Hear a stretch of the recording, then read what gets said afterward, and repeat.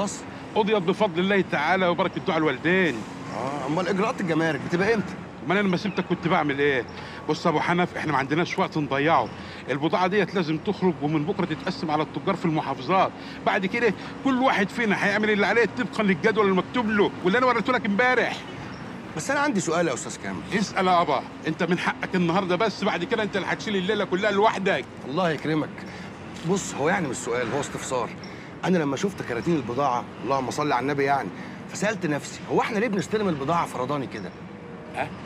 يعني هو إحنا ليه عاملين زي تجار الشنطة؟ لازم نستلم البضاعة بنفسنا ونحطها في شنط وبعدين ناخدها في القطارات نلف على المحافظات. يعني أنا شايف لو جبنا عربية ربع نقل هنوفر تكاليف كتيرة قوي يا أستاذ كامل؟ ده أنت كده ممكن تعدي عليك أيام ما توزعش غير على أربعة خمسة بس وفي الآخر يعني المكسب مش قد كده. ولا أنا غلطان. شوف بقى أبو حنف بما إنك قصدت أهل الخبرة فأنا هقول لك إحنا كان عندنا عربيتين شغالين على الخط بنوزع بيهم حلو.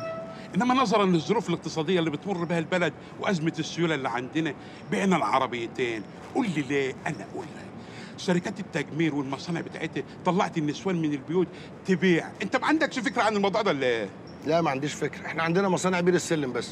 نظرا للظروف الاقتصادية بعنا العربيتين وسرحنا العمالة. ما فاضلش عندنا في الشركة غير أني والمحاسب والسكرتيري وبتاع البوفيه. وإن شاء الله هنسرح بتاع البوفيه كمان.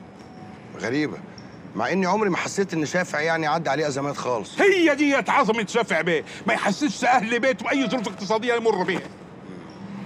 عشان كده بقى موضوع العربية هو ده السر. بتقول حاجة؟ لا لا مفيش يا أستاذ كامل. أنا بقول بلاش أفتح الموضوع معاه يعني مش عايز أزعله. وعلى فكرة اوعى تكون فاكر يعني إن أنا بقول لك الكلام ده عشان مكسل ألف على المحافظات ولا حاجة. لا ده أنا حمار شغل واعجبك أنا بس كان قصدي المصلحة. ربنا يوفقك يا طيب. شفت؟ أهو.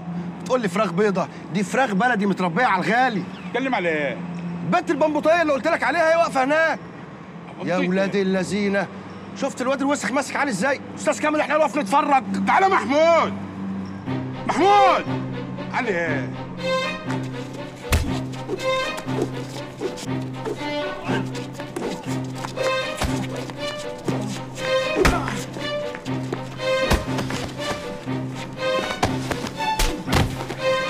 يعني ينفع كده يا جماعة؟ اتنين على واحدة. انت مالك ومال أمك خليك في حالك. وانت مالك ومال يا جدع؟ عايز إيه؟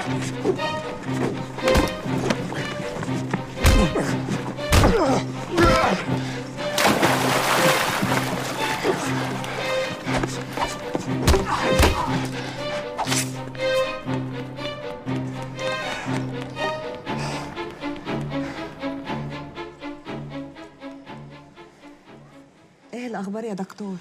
زي ما انت شايفة. جت سليمة.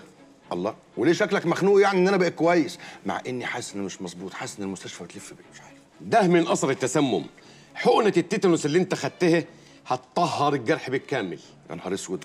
هو إيه اللي كان مسمم بالظبط؟ الفول ولا البصل؟ فول إيه؟ وبصل إيه يا ابني؟ المطوة يا حبيبي اللي انت اتضربت بيها في دراعك دي مطوة ملوثة. افهم بقى يا أخي. أفهم إيه؟ هو في حد بيمشي بمطوة معقمة؟ لا ده انت ليك نفس تهزر بقى.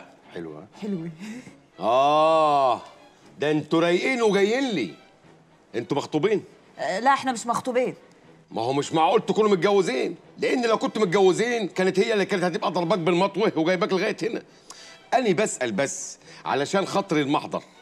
الأستاذ اللي جابك هنا راح يبلغ البوليس. بس ما عرفش اتأخر ليه. محضر إيه بس يا دكتور؟ الموضوع مش مستاهل. دي جارتنا. وكان في واحد ابن حرام بيعكسها في الشارع. واحد ما نعرفوش خالص. ما نعرفوش خالص. وعرفتوا بقى إزاي إن هو ابن حرام. شكينا فيه. في إيه يا دكتور. بقول لك واحد بيعكس واحدة في الشارع. هيبقى ابن حلال إزاي بس؟ ويمين الله بتحصل. أه، اسألني أني. أنا بتجيلي الحالات دي كل يوم في المستشفى. وبعدين يا عم أنا مالي. أنا هعمل لك التقرير الطبي اللي هتبقى بالمحضر محضر إيه؟ ما قالك ما نعرفوش. ما نعرفوش خالص. آه أنا مش مستريح لكم بصراحة. ولا إحنا مرتاحين لك. آه بقول شوية كده يا اما بقول لك إيه لو أنت عايز تصهين عن حقك. يعني خايف منها أو خايف عليها قول لي. وخاف ليه بس؟ هي دي تخاف منها. يعني أنا بسأل بس. يعني اللي كان ضربك يكون اخوها ابن عمها حد من قراضيشها بقول لك أنا بتجيلي الحالات دي كتير كل يوم في المستشفى. أنا ليه حاسس إن أنا في محكمة الأسرة مش في مستشفى؟ يا دكتور قلت لك اطمن خلاص.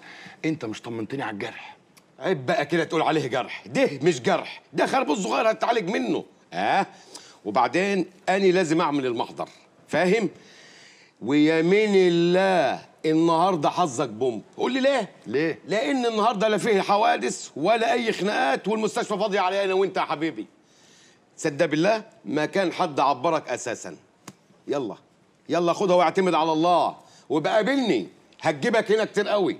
يا خرابي اوعي كده يا أما يا ساتر يا رب يا دي النصيبه دي واحدة شكلها قتلت جوزها وبتصوت عليه. على فكرة الراجل ده شكله ما كانش بيكذب. سيبك منه. ده راجل معقد. شكل مراته بتناوله بالشبشب كل يوم. على رأيك بقول لك إيه؟ فين الواد اللي كنت مرمطاه من الصبح؟ علي ده. جري الندل. تلاقيه مستخبي في بيتنا. استخبي ليه؟ هو هربان من البوليس؟ انت بتقول فيها هربان من الأحداث. علي هربان من الأحداث. ليه؟ اصله ولع في جوز أمه وهو نايم. لا إله إلا الله. ومات؟ أمه هي اللي اتحرقت فكرشته من البيت. علي حرق أمه؟